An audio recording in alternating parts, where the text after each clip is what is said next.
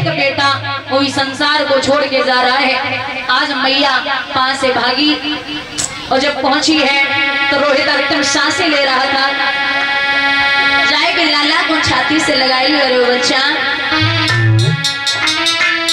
तेरे बिछुड़न को दुख सो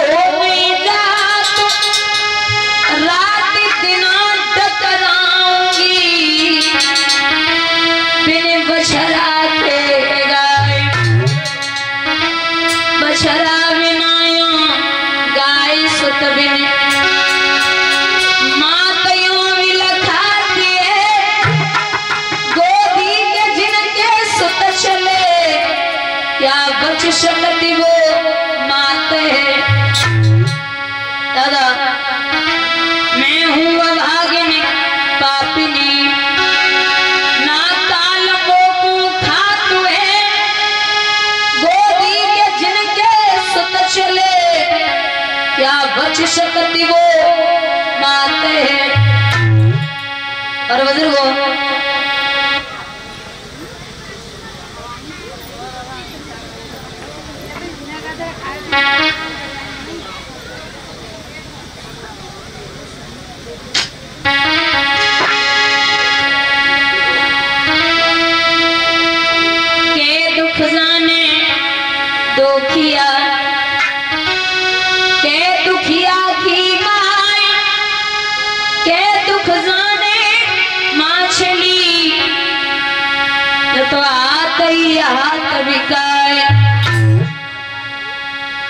मैया लाला को छाती से लगाए के बोली बच्चा।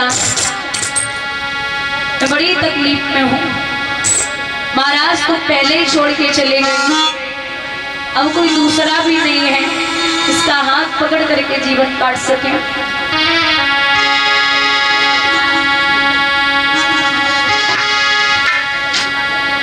देखते देखते रोहित मैया की गोदी में अंतिम साँसें लेता है। तो जी बात कही है मैया तारा ने अरे वो बच्चा उठ के बोल तो दे, कहाँ सोए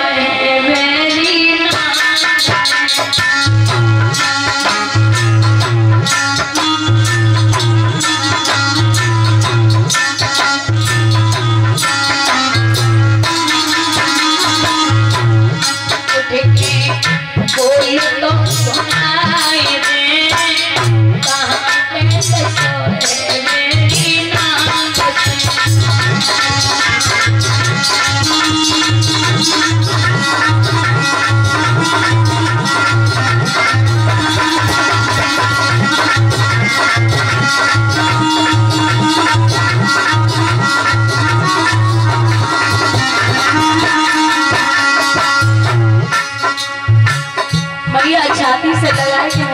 मैं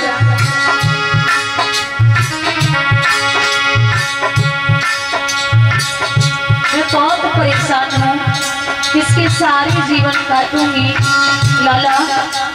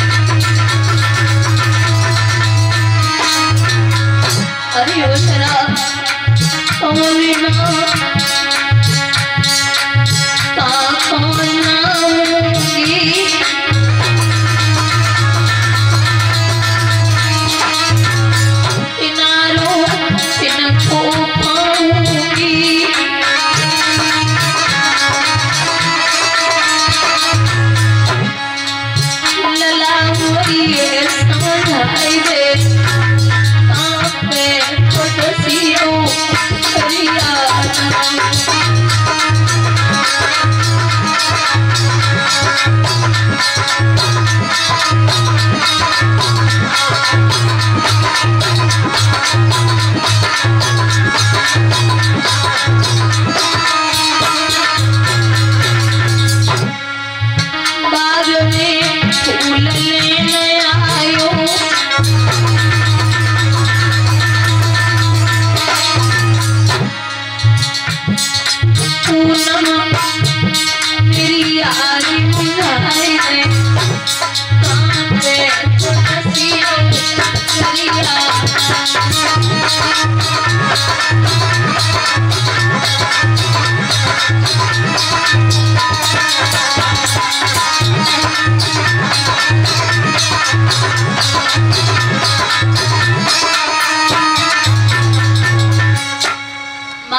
बात याद रखना, जिसके चार बेटे हों और एक जवान बेटा घर में मर जाए, आपकी भूमि पर कोई कब्जा कर ले तब भी बड़ा कष्ट होता। अगर भैया खत्म हो जाए तब भी बड़ी तकलीफ़ होती। औरत मर जाए तब भी बड़ी तकलीफ़ होती। लेकिन अगर हमसे पूछा जाए तो माँ बाप बूढ़े हो और जवान बेटा बराबर का घर में खत्म हो जाए तो इससे बड़ा दुख दुनिया में दूसरा नहीं है। जिसका बराबर का बेटा जाता है ना, उन माँ बाप को समझाने वाला दुनिया में कोई पैदा नहीं हुआ छाती से लगाए कि मैया तारा ने बात कही, अरे बच्चा, पता कुछ कुछ दुनिया में दिखाई नहीं देना। और एक बात कहती मैया तारा। अरे लाला